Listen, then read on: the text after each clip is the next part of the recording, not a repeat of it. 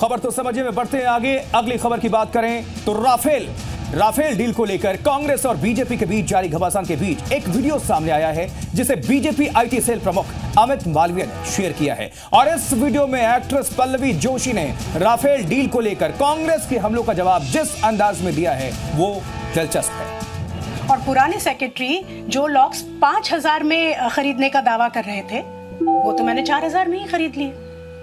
और फिर मैंने इस पूरी डील को रीनेगोशिएट किया।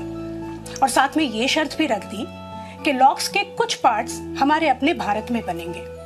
ताकि आगे चल के कहीं कुछ प्रॉब्लम हो जाए तो हमें बार बार विदेश भागना ना पड़े। ये सारी डील मैंने सात हज़ार में पक्की की।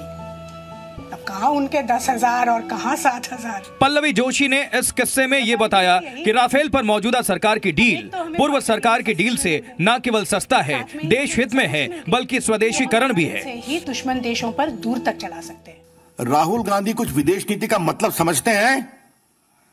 कितना झूठ बोलेंगे? राहुल गांधी इतने हताश हो गए हैं कि झूठ बोलने की पराकाष्ठा कर रहे हैं। लेकिन राहुल गांधी के हमलों पर इस विज्ञापन वार का कोई असर नज़र नहीं आया। कर्नाटक के बीदर में कांग्रेस अध्यक्ष ने एक बार फिर पीएम मोदी पर हमला किया और राफेल में घोटाले का आरोप भी दोहरा डाला।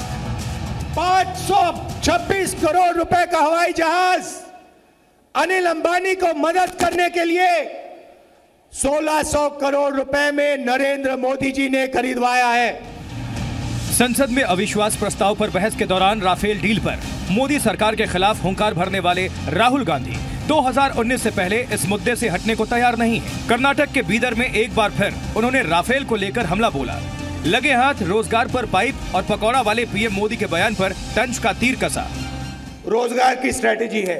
नाले में से पाइप लगाओ और ढाबे में पकौड़े बनाओ। यह है नरेंद्र मोदी जी की हिंदुस्तान के युवाओं को रोज़गार देने वाली स्ट्रेटेजी पकौड़े बनाओ। हम आपको गैस नहीं देंगे। गैस भी आपको नाले में से निकालकर कुकर में डालनी पड़ेगी। अब खबर तो समझिए कि प्रधानमंत्री मोदी पर राहुल के हमलावर तेवर के मायने आखिर हैं क्या? तो राहुल गांधी पीएम मोदी पर हमला कर विपक्षी गठबंधन की रहनुमाई करना चाहते हैं। राफेल डील में भ्रष्टाचार के ज़रिए राहुल गांधी। पीएम मोदी की छवि खराब करना चाहते हैं। राहुल गांधी पहले भी केंद्र सरकार पर चंद पूंजीपतियों के पक्षधर होने का आरोप लगाते रहे हैं। और राहुल गांधी 2019 के लोकसभा चुनाव तक राफेल डील के मुद्दे को गरमाए रखना चाहते हैं। राहुल गांधी की नज़र प्रधानमंत्री की कुर्सी पर है और राफेल डील के मुद्दे में राहुल गांधी को इसकी सीढ़ी नज़र आ रही है।